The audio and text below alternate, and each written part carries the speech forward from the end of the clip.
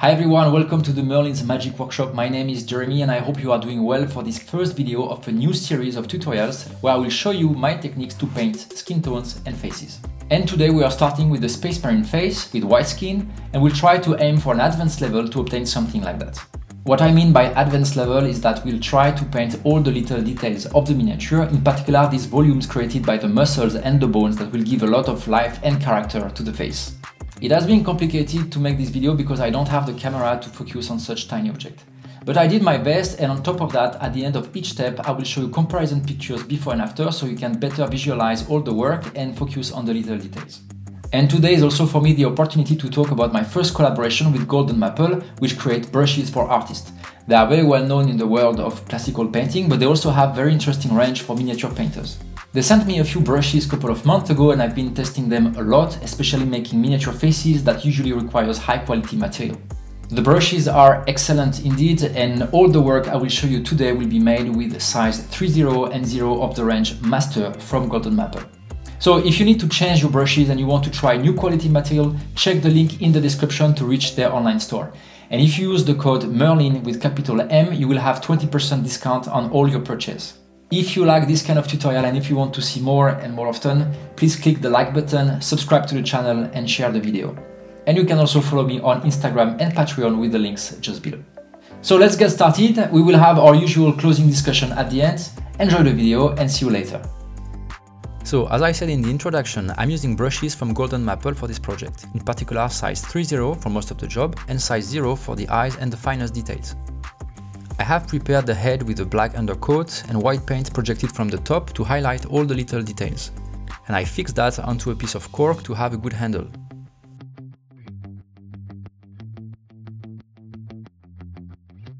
I start by applying the base color of the skin, I'm using Basilisk Red from the Fanatic Warpaint range, and I cover the entire face, including the interior of the mouth. Using a dark red, almost purple, as a base tone, it will greatly help to give life to the face. It kind of simulates the blood that flows under the skin. I work with very thin layer to preserve as much as possible all the little details. I apply 3 or 4 coats until I get an opaque and uniform result.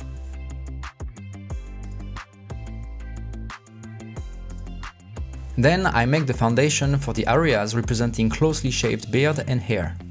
I make a mix of 50-50 basilisk red and thunderous blue to get a dark violet slightly desaturated. I apply this mix on the chin, under the nose and the nasolabial lines, under the cheeks and on top of the head, trying to draw the natural shape of the scalp.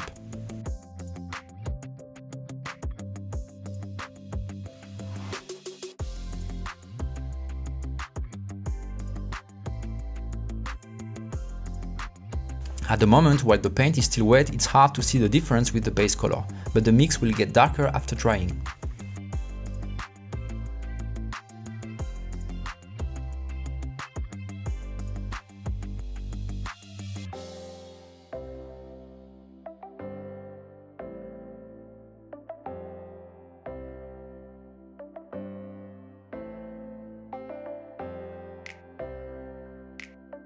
The idea is to make a clear separation in the shadows between the zone with closely shaved hair and the rest of the skin. There is nothing really complicated at this step, at least technically speaking, but it is important to pay attention of the placement and the shape of the scalp, in order to get a realistic representation.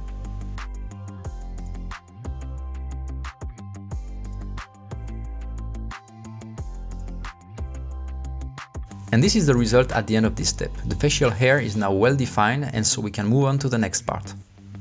Starting from now, I will push the light on the face using a mix of 1 3rd basilisk red and 2 3rd topaz skin. I will cover most of the forehead, the nose and the top of the cheeks, but without touching the beard and the hair for the moment. I work with very little amount of paint on my brush, just enough to cover small areas with fresh paint. By doing that, I managed to keep the pointy shape of the brush tip to get a maximum control to work on little details. I apply the paint in thin layers, one after the other, trying to keep the consistency of the light orientation.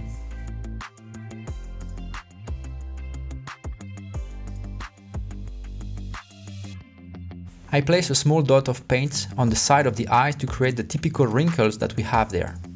I then move to the forehead, but leaving the temples darker to show that they are slightly inside of the skull.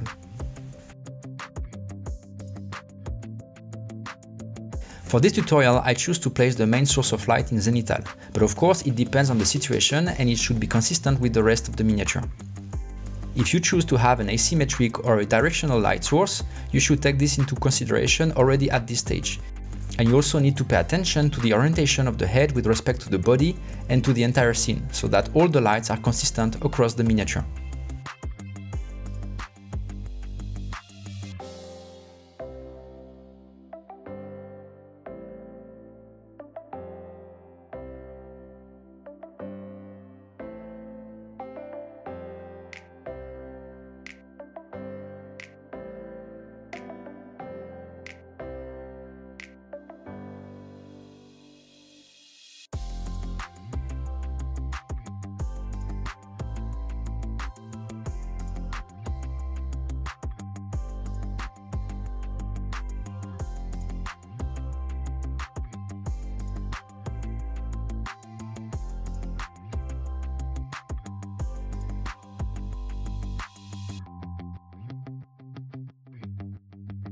Then I will invert the color proportions in the mix to get a darker tone to smooth the transition with the base coat. I increase slightly the amount of water in my paint to get the consistency of a fat glaze, so to work with semi-transparent layers to easily blend the two regions.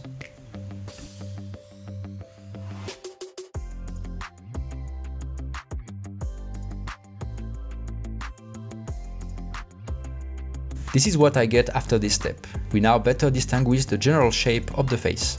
For the next part, I will push the highlight one step further with a mix of one-third topaz skin and two-third barbarian flesh. Same places as before, but this time reducing the surface to paint. I will also start to draw an interesting volume created by the muscles of the jaw, for now just on the top part next to the ears, but I will extend it later with the highlight color of the beard.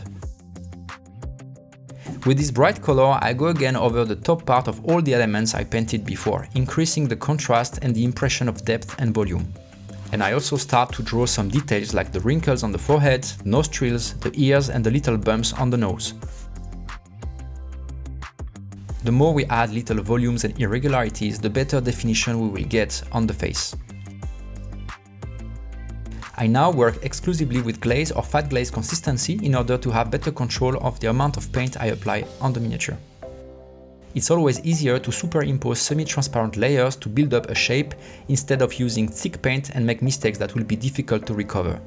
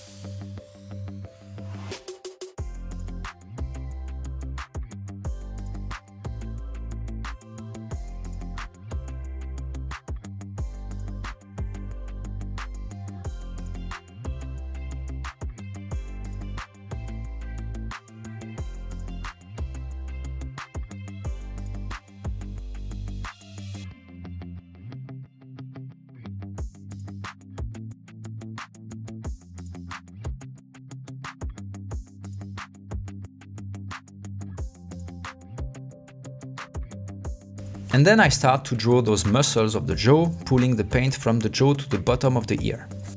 This particular volume is not really existing on the miniature, but I like to add it myself with a paint job to give extra structure and character to the face.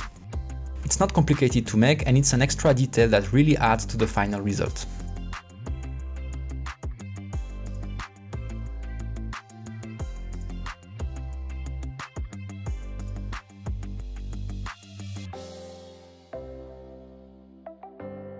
Here we see clearly how the volume on the jaws help to create the impression of power and strength to the overall face. Then I start to work on the highlight of the beard and of the hair regions. I use a mix of Basilisk Red, Thunderous Blue and Dorado Skin in equal proportions.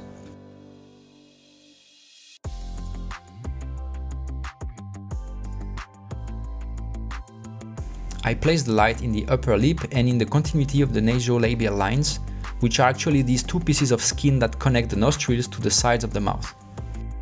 I am also drawing two points of light on the chin to give the impression of a strong bone structure. Here again, it's not really a feature already present on the sculpture, so I add it myself during the paint job.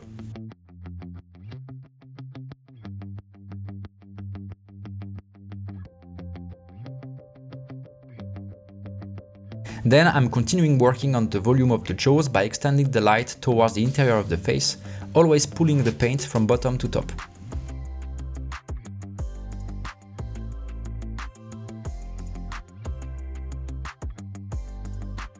In some places the transitions are a bit rough, so I make slightly darker mix to blend with the base color.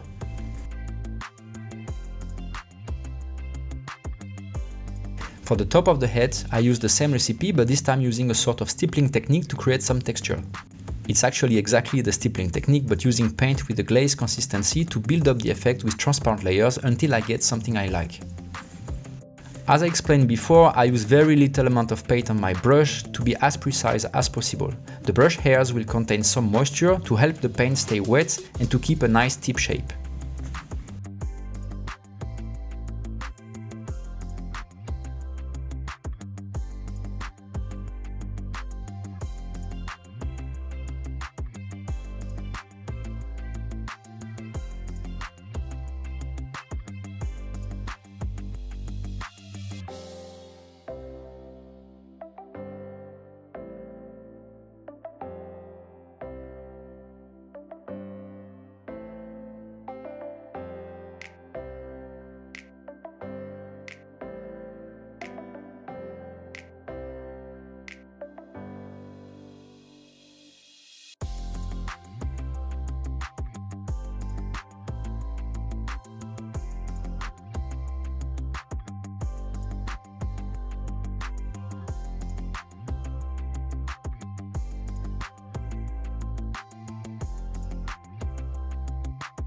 And this is what I get after placing the first highlight for the facial hair regions.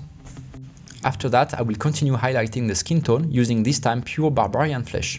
And I will start to emphasize the roughness of the skin, the wrinkles and the other small volumes I started to draw during previous steps. The barbarian flesh paint has a lot of orange tone in it, which works very well with the darker violet tone of the beard and the hair. It creates a contrast of complementary color as well as a contrast of luminosity and saturation, which makes the face easier to read and more interesting in general.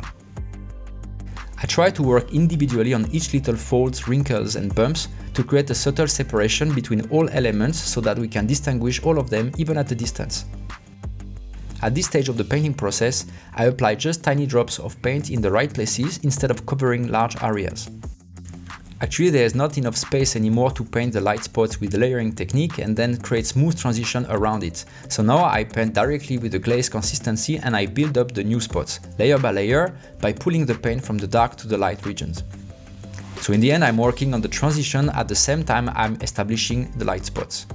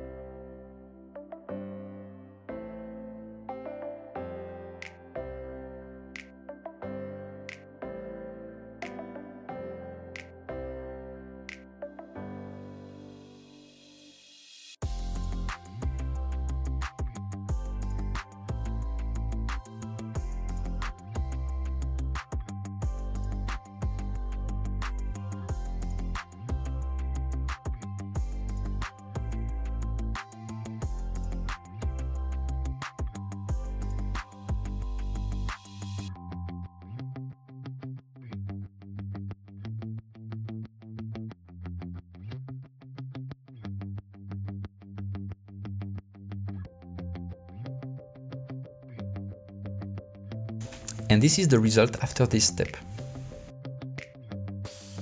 I will then increase again the light on the facial hair regions with the same recipes as before, but this time using more Dorado skin in the mix to get a brighter tone.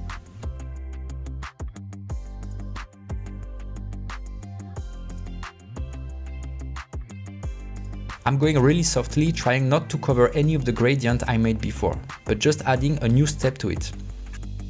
I want to keep the level of luminosity I built up so far, so I keep reducing the size of the area to paint without covering the rest.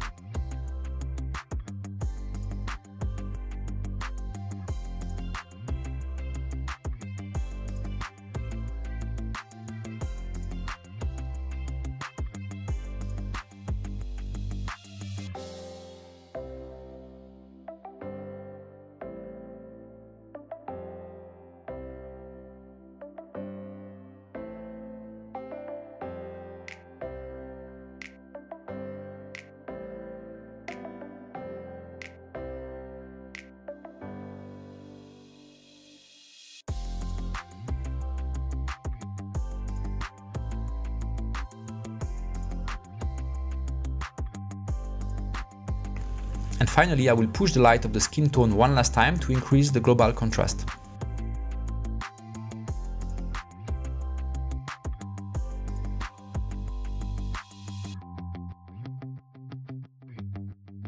It's the same principle as before, I place tiny dots of light where it's relevant, this time mostly on the upper side of the head.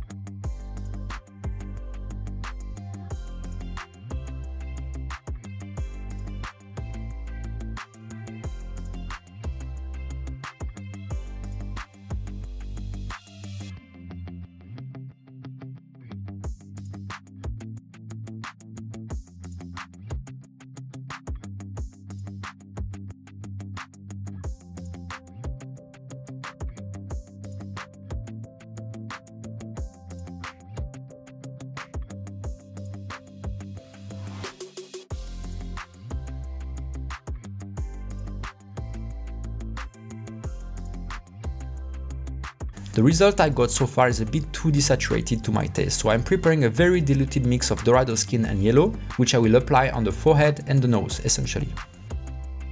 It's a very very thin glaze, just to bring back a bit of saturation, but without messing up with the gradient I created before.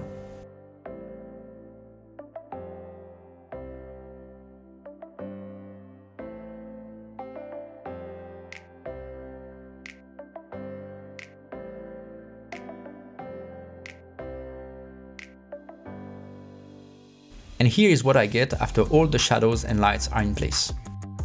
I then move to one of the most important elements, the mouth and the teeth. I'm going to work mostly with a combination of Basilisk Red and Dorado Skin.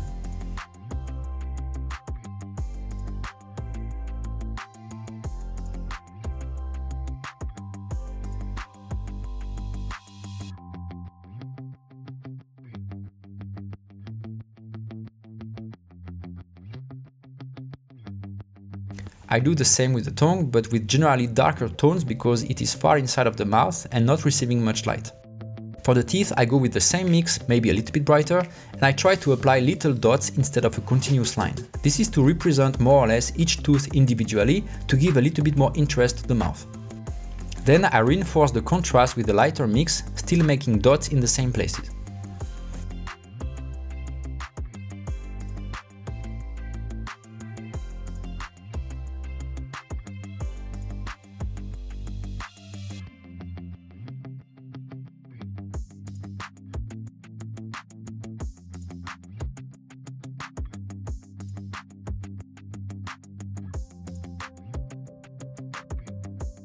The mouth, when it's done, adds a lot of definition and details to the face, in particular with these tiny teeth.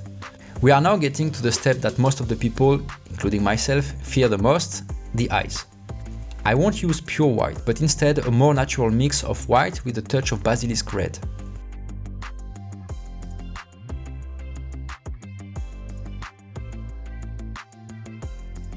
At that time, I start to use the size 0 brush from Golden Maple, which is finer and has a more pointy tip.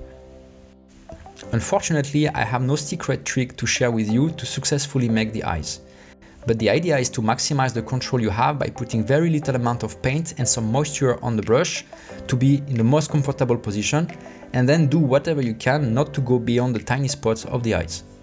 In the worst case, it's always possible to go back with the previous paint and start over again and things will get easier with some practice. After adding the black dots of the pupils, I also added an even smaller dot of white in the center to create the reflection of the light source.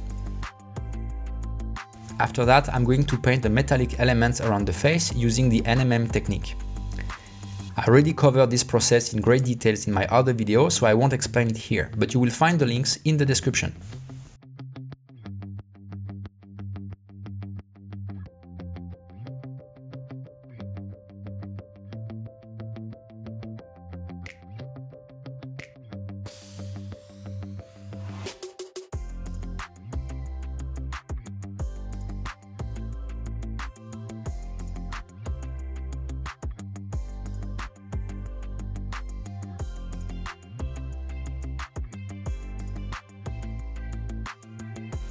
And with this done, this small painting project is completed and the head is now ready to be fixed onto its miniature.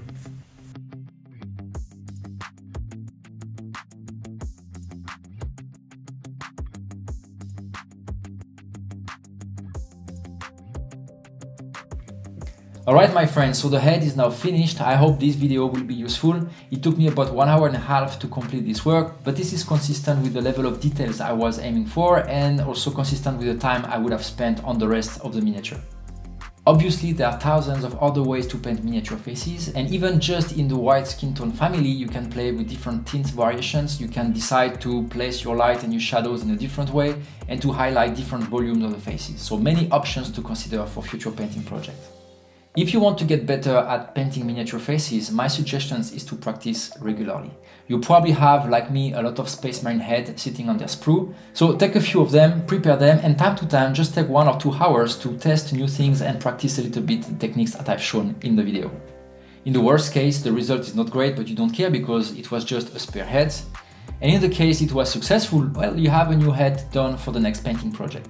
In the next video I will show you my techniques to paint other skin tones, humans but not only, and I will try to cover also other specific effects like tattoos and scars. If you don't want to miss it, please consider subscribing to the channel and activate the notification. I will see you soon in a new video tutorial and in the meantime I wish you a very nice day.